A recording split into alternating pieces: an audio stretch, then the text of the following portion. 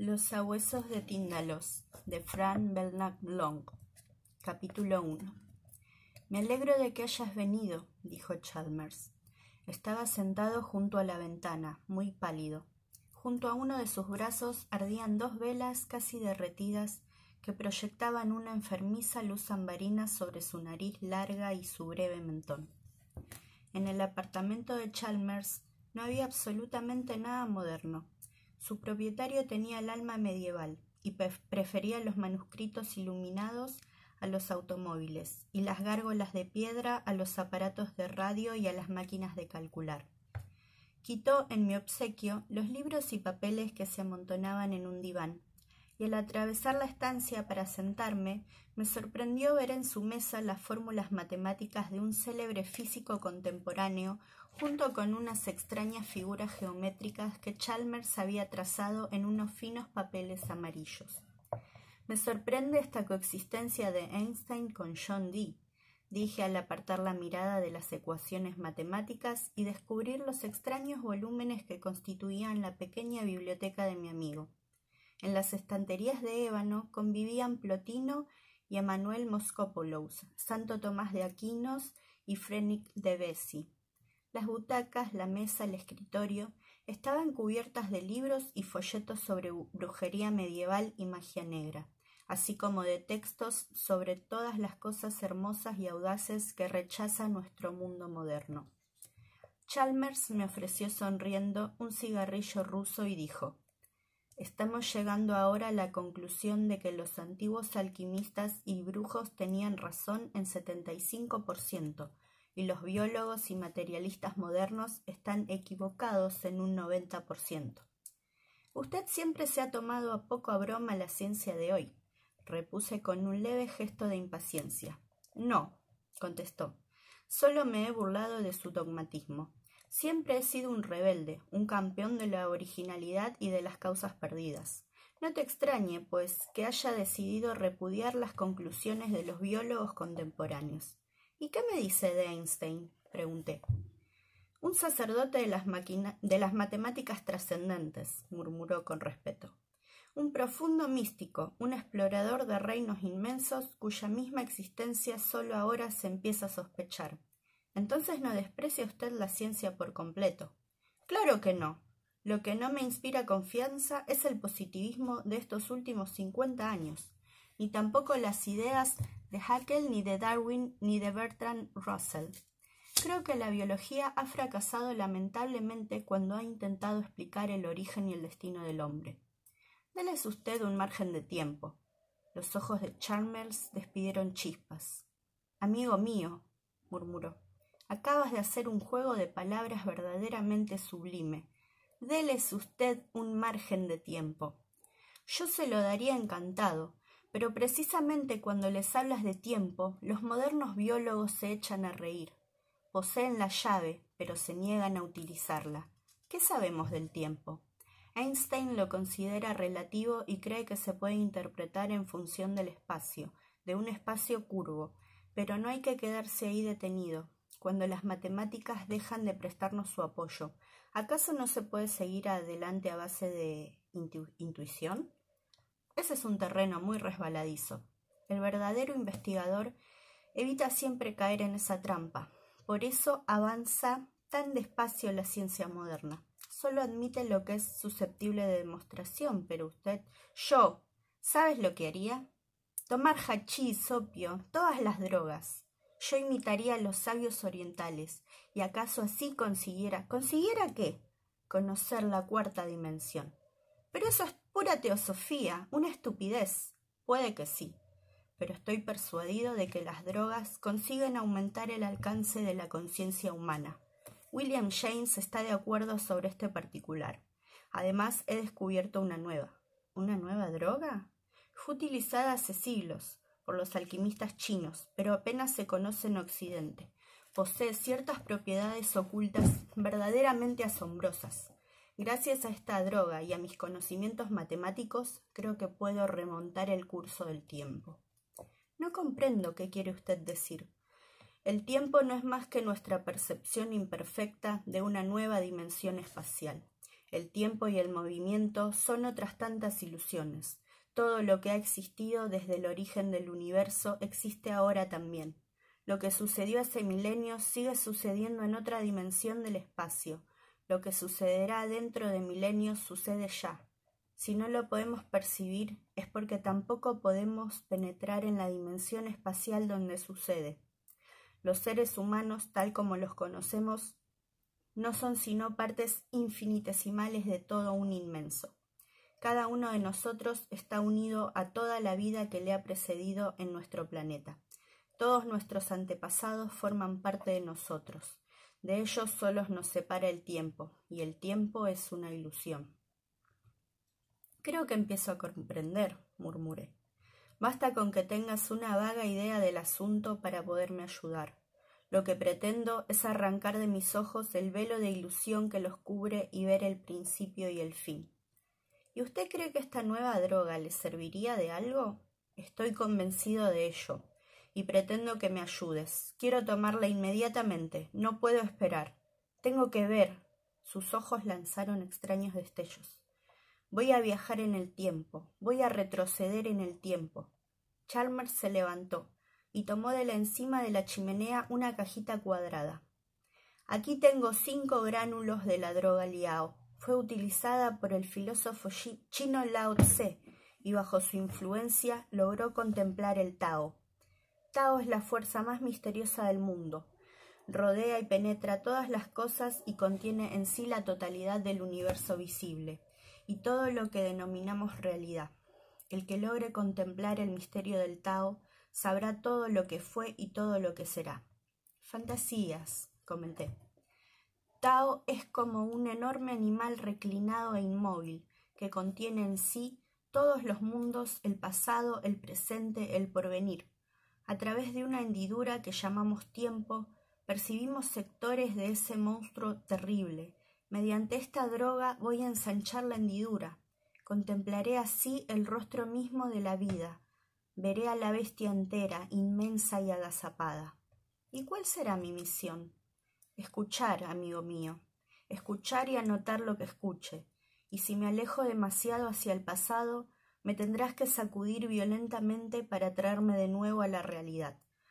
Si vieras que estoy sufriendo dolores físicos intensos, me debes hacer regresar al instante. Chalmers, dije, este experimento no me gusta nada. Va a correr usted un peligro terrible.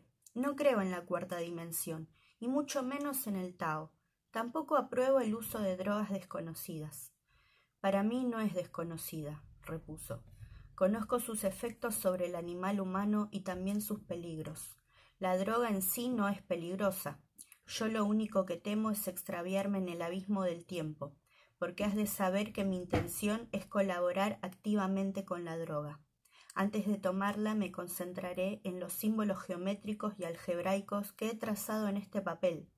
Me enseñó el diagrama que tenía sobre las rodillas. Y así prepararé mi espíritu para el viaje transtemporal, Primero me aproximaré todo lo posible a la cuarta dimensión mediante el solo esfuerzo de mi propio ego, y luego tomaré la droga que me dará el poder oculto de la percepción. Antes de penetrar en el mundo onírico del misticismo oriental, dispondré de toda la ayuda matemática que pueda ofrecerme la ciencia. La droga abrirá las puertas de la percepción, y las matemáticas me permitirán comprender intelectualmente lo que así perciba. Así mis conocimientos matemáticos y mi aproximación consciente a la cuarta dimensión complementarán la pura acción de la droga. En mis sueños ya he conseguido captar muchas veces la cuarta dimensión en forma intuitiva y emocional, pero en estado de vigilia no, no ha sido después nunca capaz de recordar el resplandor oculto que me era revelado momentáneamente en sueños. Creo, sin embargo, que con tu ayuda podré hacerlo esta vez. Tú anotarás todo lo que diga durante mi trance, por muy extraño e incoherente que te parezca. A mi regreso espero poder proporcionarte la clave de todo lo que no hayas entendido. No estoy seguro de mi éxito, pero si lo tengo. Sus ojos volvieron a despedir un extraño fulgor. El tiempo ya no existiría para mí. De pronto se sentó. Voy a hacer el experimento ahora mismo. Ponte por favor junto a la ventana y no dejes de vigilarme. ¿Tienes pluma? Asentí hoscamente y saqué mi pluma Waterman verde claro del bolsillo superior de la chaqueta. ¿Y has traído algo donde escribir, Frank? De mala gana saqué una agenda. Insisto enérgicamente, una vez más, en que no apruebo este experimento, gruñí. Va a correr usted un peligro terrible. No seas niño, agitó un dedo ante mí. Estoy decidido a hacerlo a pesar de todo lo que me digas, y además hacerlo ahora mismo. Por favor, estate en silencio mientras medito sobre estos diagramas. Puso los dibujos ante sí y se concentró intensamente en ellos. En el silencio oí como el reloj de la chimenea iba desgranando segundos. Una angustia indefinida me oprimía el pecho. De pronto el reloj se paró. En ese momento Chalmers introdujo la droga en su boca y la tragó. Rápidamente me aproximé a él, pero con la mirada me advirtió que no le interrumpiera. El reloj se ha parado, murmuró. Las fuerzas que lo gobiernan aprueban mi experimento. El tiempo se detuvo y yo tomé la droga. Dios mío, haz que no me extravíe. Cerró los párpados y se extendió en el sofá. Su rostro estaba exangüe y respiraba con dificultad. Era evidente que la droga estaba actuando extraordinariamente deprisa. Comienzan las tinieblas, murmuró. Anótalo. Todo se está poniendo oscuro y se van desdibujando los objetos familiares de la habitación. Aún los veo, pero borrosos, y se están desdibujando rápidamente. Sacudí la pluma estilográfica, pues la tinta fluía mal, y seguí tomando veloces notas taquigráficas. Abandono la habitación, las paredes se disuelven como niebla. Ya no veo ninguno de los objetos, pero todavía te veo la cara. Supongo que estarás escribiendo. Creo que estoy a punto de dar el gran salto a través del espacio, o acaso del tiempo. No lo sé. Todo es confuso, incierto. Permaneció en silencio durante un largo tiempo, con la barbilla apoyada en el pecho. De pronto se puso rígido y abrió los ojos. Dios mío. exclamó. Veo, se hallaba todo contraído, tenso, mirando fijamente la pared que había frente a él, pero yo sabía que su mirada la atravesaba y que los objetos de la habitación no existían para él. Chalmers, Chalmers, ¿le despierto? De ninguna manera, aulló. Veo todo. Ante mí veo los billones de vidas que me han precedido en este planeta. Veo hombres de todas las épocas, de todas las razas, de todos los colores. Luchan, se matan, construyen, danzan, cantan, se sientan en torno a la hoguera primitiva en desiertos grises e intentan elevarse en el aire a bordo de monoplanos. Cruzan los mares en toscas barcas de troncos y en enormes buques de vapor. Pintan bisontes y elefantes en las, en las paredes de cavernas lúgubres y cubren lienzos enormes con formas y colores del futuro. Veo a los emigrantes procedientes de la Atlántida y Lemuria, Veo a las razas ancestrales, a los enanos negros que invaden Asia y a los hombres de Neandertal, de cabeza inclinada y piernas torcidas, que se extienden por Europa.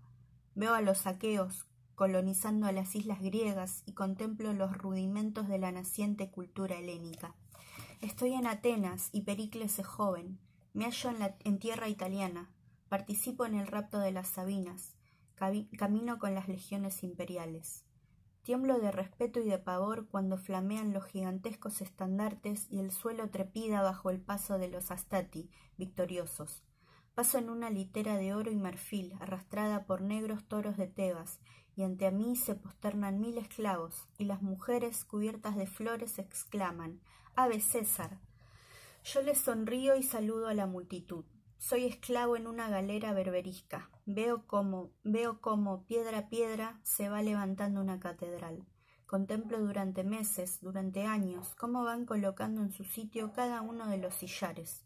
Estoy crucificado, cabeza abajo, en los perfumados jardines de Nerón, y veo, con ironía y desprecio, cómo funcionan las cámaras de tortura de la Inquisición.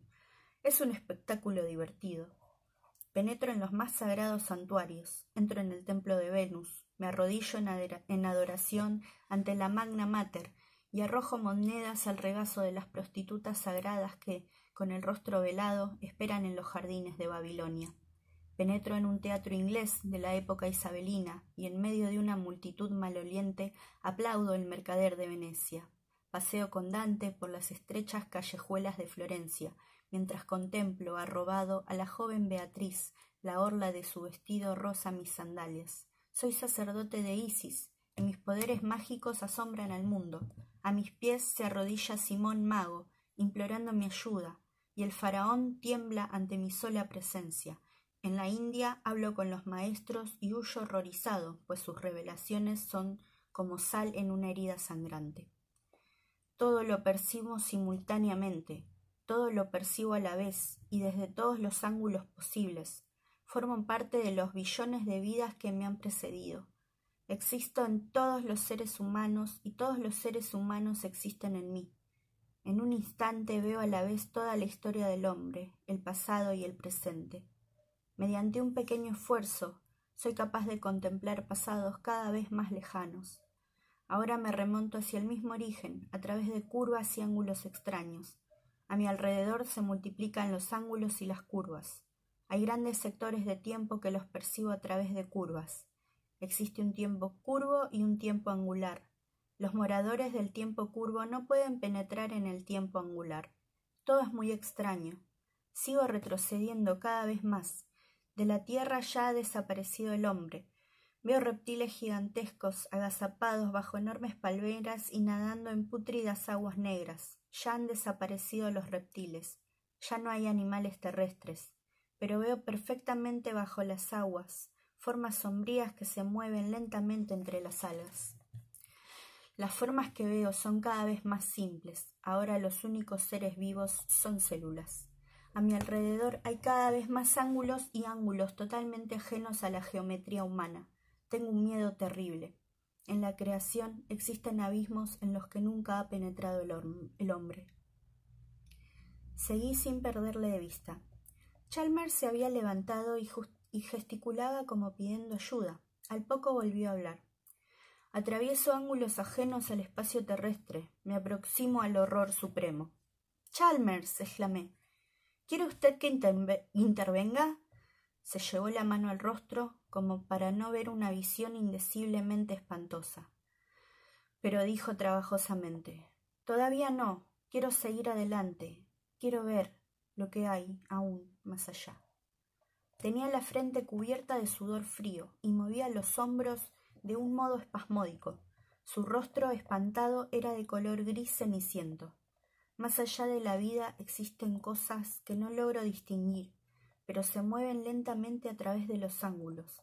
No tienen cuerpo y se mueven lentamente a través de ángulos alucinantes. En ese momento percibí por primera vez en la estancia un olor bestial e indescriptible, nauseabundo, insoportable. Me lancé a la ventana y la abrí de par en par. Cuando volví al lado de Chalmers y vi su expresión, estuve a punto de desvanecerme. Me han olido, lanzó un alarido. Lentamente se dan la vuelta hacia mí. Todo el cuerpo le temblaba horriblemente. Durante un momento agitó los brazos en el aire, como buscando un asidero, y luego le cedieron las piernas. Cayó al suelo, donde permaneció boca abajo, sollozando, gimiendo. En silencio contemplé cómo se arrastraba por el suelo. En aquellos momentos mi amigo no era un ser humano. Enseñaba los dientes y en las comisuras de la boca se le formó una espuma blanquecina. Chalmers. grité. Chalmers. basta ya. basta ya. ¿Me oye? Como en respuesta de mi llamada comenzó a emitir unos sonidos roncos y convulsivos, semejantes a ladridos, y a caminar en círculo a cuatro patas por el suelo. Me incliné y le cogí por los hombros. Le sacudí violentamente, desesperadamente, y él intentó morderme la muñeca. Me sentía enfermo de horror, pero no le solté, pues temía que se destruyera a sí mismo en un paroxismo de rabia. Chalmers. murmuré. Basta ya. Está usted en su habitación. Nada malo le puede suceder. ¿Comprende? A fuerza de sacudirle y de hablarle, logré, logré que la expresión de locura fuera desapareciendo de su rostro. Tembloroso y convulsivo, quedó como un grotesco montón de carne en el centro de la alfombra china. Le ayudé a caminar hasta el sofá y a tumbarse en él. Su rostro estaba contraído de dolor y me di cuenta de que seguía luchando sordamente entre recuerdos espantosos. Whisky, murmuró. Está ahí, en el mueblecito, junto a la ventana. en el cajón superior de la izquierda. Cuando le alcancé la botella, la asió con tal fuerza que los nudillos se le pusieron azules. Casi me cogen, dijo entrecortadamente. Bebió el estimulante a grandes tragos e irregulares, y poco a poco le fue volviendo el color a la cara. Esa droga, dije, es el diablo en persona. No era la droga, gimió. Su mirada ya no era de loco, ahora daba la impresión de un profundo desaliento. Me han olido a través del tiempo, susurró. He llegado demasiado lejos. ¿Cómo eran? pregunté para seguirle la corriente. Se inclinó hacia mí y me agarró el brazo hasta hacerme daño. Otra vez fue dominado por horribles temblores. No hay palabras para describirlos, murmuró roncamente. Han sido vagamente simbolizados en el mito de la caída y en cierta forma obscena que a veces parece grabada en algunas tablillas arcaicas. Los griegos le daban un nombre que ocultaba la impureza esencial de estos seres. La manzana, el árbol y la serpiente son símbolos del misterio más atroz. Al cabo de unos momentos su voz se convirtió en un aullido. Frank. Frank. En el comienzo se consumó un acto terrible e inmencionable. Antes del tiempo, el acto y después del acto. Comenzó a andar histéricamente por la estancia. Las consecuencias del acto se mueven a través de ángulos, en los oscuros recodos del tiempo, tienen hambre y sed. Chalmers, intenté razonar. Estamos en el tercer decenio del siglo XX, pero él siguió ululando. Tienen hambre y sed. Los perros de Tíndalos. Chalmers, ¿quiere usted que llame un médico? Ningún médico puede ayudarme. Son horrores del alma y, sin embargo, ocultó la cara entre las manos. Son reales, Frank. Los vi durante un momento horrible, durante un instante he llegado a estar al otro lado. Me encontré en una ribera lívida, más allá del tiempo y del espacio. Había una luz espantosa que no era luz, y un silencio hecho de aullidos, y allí los vi. En sus cuerpos flacos y famélicos se concentra todo el mal del universo. En realidad no estoy seguro de que tuvieran cuerpo, pero los vi un instante, pero los he oído respirar, durante un momento indescriptible sentí su aliento en mi cara. Se volvieron hacia mí y huí dando alaridos. En un solo instante huí a través de millones de siglos, pero me han olido. Los hombres despiertan en ellos un hambre cósmica. Hemos escapado momentáneamente del aura impura que los rodea. Tienen sed de todo lo que hay de limpio en nosotros, de todo lo que emergió inmaculado de aquel acto, en nosotros hay elementos que no participaron en el acto y ellos los aborrecen. Pero no te imagines que son literal y prosaicamente malos. En el plano donde habitan no existen el bien y el mal tal como nosotros los concebimos. Son lo que, en principio, quedó desprovisto de pureza para siempre jamás. Al, cometer el acto, se convirtieron en cuerpos de muerte, en receptáculos de toda impureza, pero no son malos en el sentido que nosotros damos a esa palabra, porque en las esferas en que se mueven no existe pensamiento ni moral, ni bueno ni malo. Allí solo existen lo puro y lo impuro. Lo impuro se expresa en ángulos, lo puro en curvas. El hombre, o mejor dicho, lo que hay en él de puro, procede de lo curvo. No te rías, hablo completamente en serio. Me levanté para irme, Mientras iba hacia la puerta dije Me da usted mucha pena, Chalmers, pero no estoy dispuesto a oírle delirar. Le enviaré a mi médico. Es un hombre de edad muy comprensivo, y no se ofenderá aunque usted le mande al diablo. Pero confío en que siga usted las indicaciones que le dé. Se pasa usted una semana descansando en un buen sanatorio y verá qué bien le sienta. Mientras bajaba las escaleras le oí reír, era una risa tan desprovista de alegría que me hizo llorar. Capítulo 2 Cuando Chalmers me telefoneó a la mañana siguiente, mi primer impulso fue colgar inmediatamente el receptor. Me llamaba para pedirme algo tan insólito y tan anormalmente alterada estaba su voz que temí por mi propia cordura si seguía adelante en este asunto pero no pude dejar de percibir la sinceridad de su angustia, y cuando se le quebró la voz y comenzó a sollozar, decidí acceder a su petición. De acuerdo, dije. Ahora mismo voy y le llevo la escayola. De camino hacia casa de Chalmers me detuve en una droguería y adquirí diez kilos de escayola. Al entrar en el cuarto de mi amigo le vi agazapado junto a la ventana contemplando la pared de enfrente con ojos enfebrecidos por el terror. Cuando me vio entrar se puso en pie y me arrebató el paquete de escayola con una avidez que me puso los pelos de punta. Había sacado todos los muebles de la estancia, la cual presentaba ahora un aspecto absolutamente desolado. Aún podemos salvarnos, exclamó. Pero tenemos que actuar rápidamente. Frank, hay una escalera plegable en el vestíbulo. Tráela inmediatamente y ve a buscar también un cubo de agua. ¿Para qué? murmuré atónico. Se volvió vivamente hacia mí y vi un relámpago de ira en sus ojos. ¿Para qué va a ser, sobobo? Para hacer la masa con la escayola, gritó fuera de sí, para hacer la masa que nos salvará el cuerpo y el alma de una contaminación indecible, para hacer la masa que salvará al mundo de un peligro. Frank, tenemos que cerrarles las puertas. ¿A quiénes? pregunté. A los sabuesos de Tíndalos, exclamó. Solo pueden llegar hasta nosotros a través de los ángulos. Eliminemos todos los ángulos de la habitación. Voy a poner escayola en todos los ángulos, en todos los rincones, en todas las hendiduras. La habitación quedará como el interior de una esfera. Habría sido inútil discutir con él. Le llevé la escalera. Chalmers mezcló la escayola con el agua y estuvimos trabajando durante tres horas. Tapamos las cuatro esquinas de la pared y también las intersecciones de esta con el suelo y el techo. Por último, redondeamos los dos los duros ángulos de la ventana. Ahora me quedaré en esta habitación hasta que se vayan, dijo Chalmers cuando hubimos dado fin a la tarea. Al darse cuenta de que el olor que siguen les obliga a atravesar curvas se volverán, se volverán, hambrientos, frustrados, insatisfechos al plano de impurezas de donde proceden, anterior al tiempo y más allá del espacio.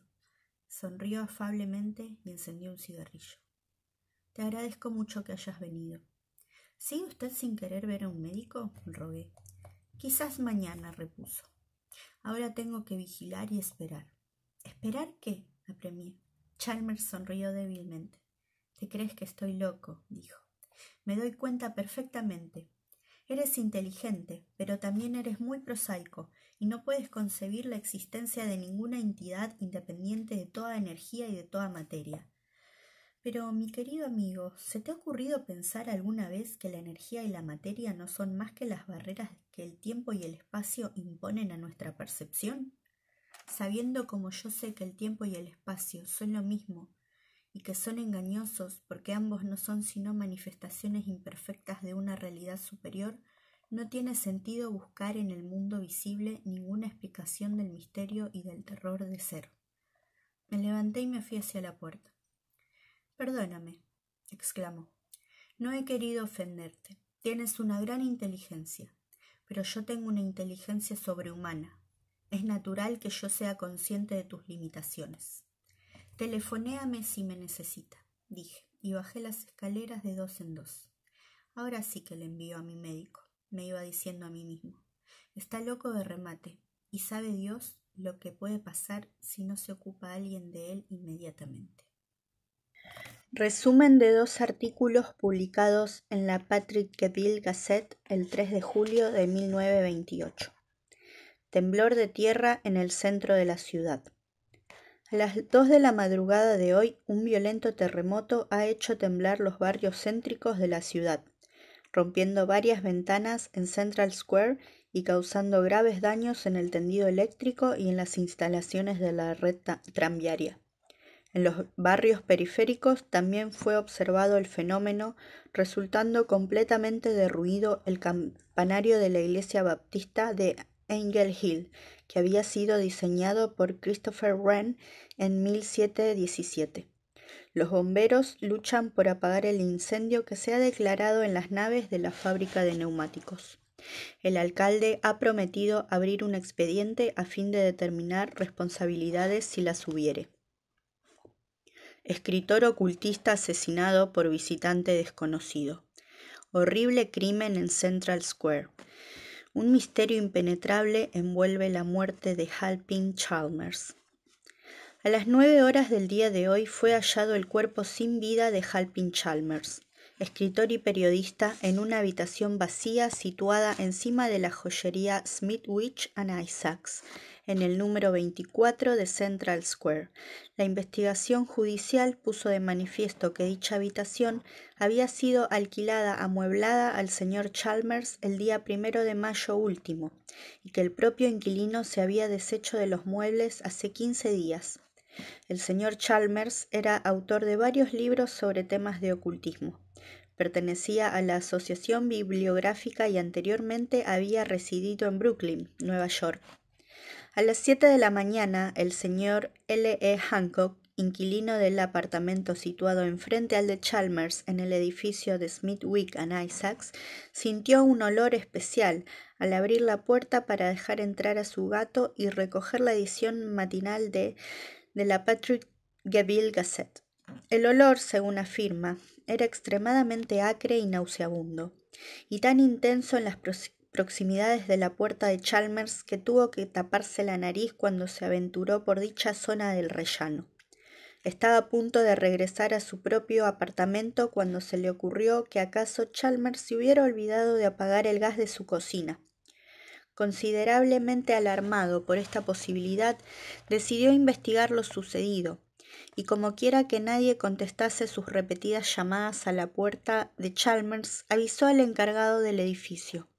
Este último abrió la puerta mediante una llave maestra, y ambos penetraron en la habitación de Chalmers. La estancia estaba totalmente desprovista de mobiliario, y Hancock asegura que, al ver lo que había en el suelo, se sintió enfermo teniendo que permanecer el encargado y él asomados un rato a la ventana sin mirar atrás. Chalmers yacía boca arriba en el centro de la habitación. Estaba completamente desnudo y tenía el pecho y los brazos cubiertos de una especie de gelatina azulada. La cabeza totalmente separada del tronco reposaba sobre el pecho y sus facciones aparecían horriblemente retorcidas y mutiladas. No había ni rastro de sangre. La habitación presentaba un aspecto insólito. Todas las aristas habían sido cubiertas de escayola, que en algunos sectores se había agrietado y en otras desprendido. Los fragmentos de escayola caídos habían sido agrupados en torno al cadáver formando un triángulo perfecto. Junto al cuerpo se hallaron varias hojas de papel amarillo, casi enteramente consumidas por el fuego. En ellas había dibujados varios símbolos fantásticos y extrañas figuras geométricas y podían leerse diversas frases escritas apresuradamente a mano. Dichas frases, sin embargo, son tan absurdas que no proporcionan la menor pista sobre el posible autor del crimen. He aquí alguna de tales frases. Vigilo y espero. Estoy sentado junto a la ventana y vigilo las paredes y el techo. No creo que lleguen hasta aquí, pero debo tener cuidado con los Doels, porque acaso pueden ayudarles a pasar. También los ayudarán los sátiros, y estos pueden avanzar a través de los círculos purpúreos. Los griegos sabían cómo impedirlo. Es lamentable que hayamos olvidado tantas cosas.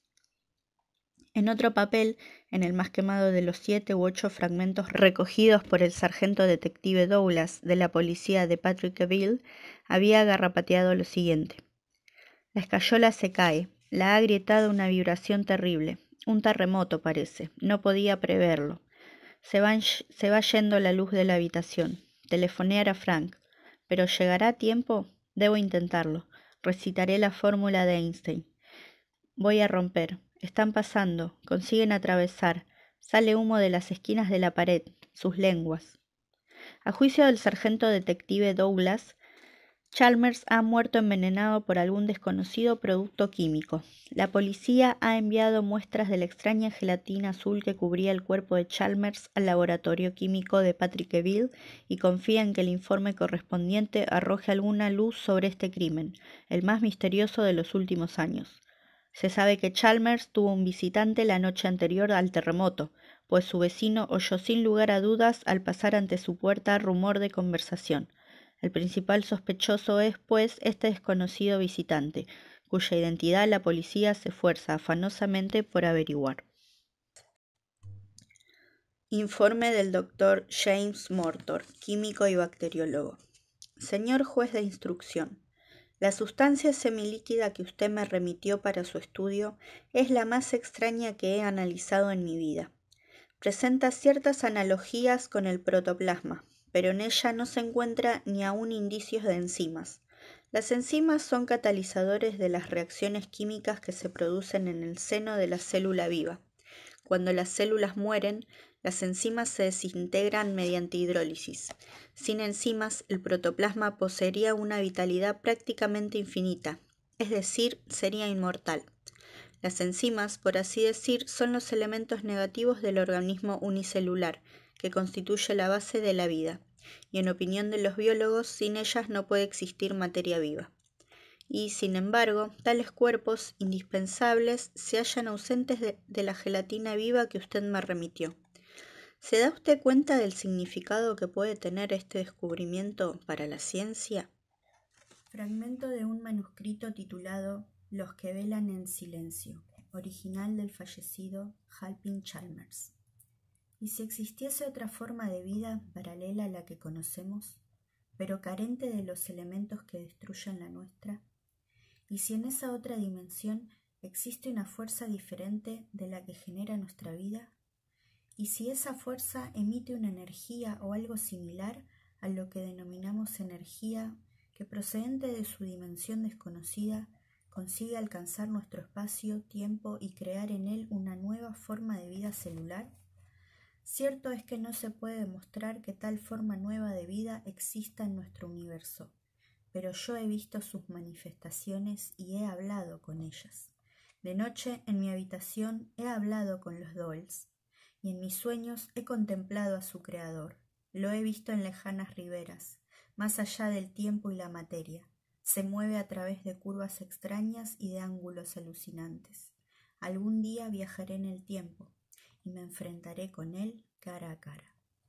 Los sabuesos de Tíndalos, Frank Bernard Long.